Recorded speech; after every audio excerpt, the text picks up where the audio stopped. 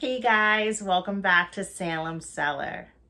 So today we're going to be watching an official trailer for a Tubi original called Lowlifes. I'm guessing it's about low life, so we'll see. Hopefully it's a horror film and hopefully it's amazing. I'll be right back.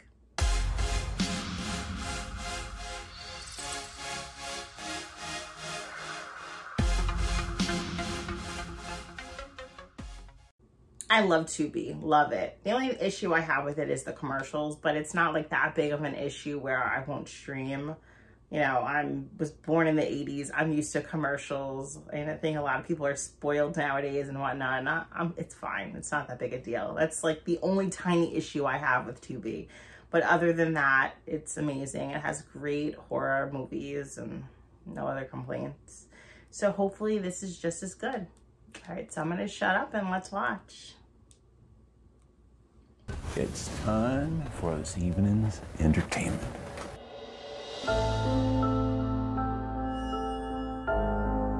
Tell me, where y'all from? We live in Calabasas.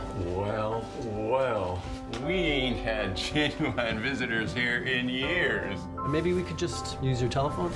We got gas, honey. I get like Texas Chainsaw Massacre vibes You folks will from this probably want to leave first thing in the morning. It's cozy. Don't let the bed bugs bite. I'll sleep outside. Do you have any dreams? Don't you want to get out of this place? I haven't thought about it much. Something just doesn't feel right. I get the distinct impression we're Yeah, not no. wanted here. Hey, what you got in there anyway? That's our business, none of yours. Oh, he has a shot. yeah, that means time to go. Mom, why are you doing this? Something awful in this house. What did you do, huh? What did you do? Are they cannibals? Always eat Ugh. together. Are they can? Are they eating people? Was that dead people that they were gonna cook?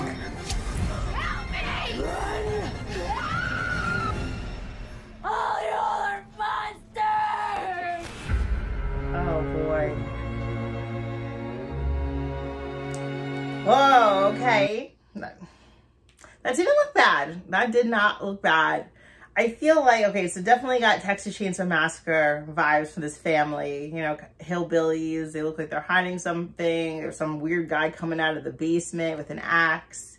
But it would be really cool if there was like some type of twist at the end like the real monsters weren't the hillbillies, that it was like the family, right? Like that they like killed and eat people or, you know, they were like nuts. That would be like a fun little twist. I don't know if that's going to be what's going to go on, but that would make it like, make it a lot of fun.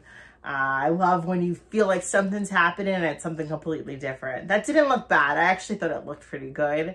Uh, I'm thinking they're cannibals though. I'm thinking those are dead bodies and they eat people.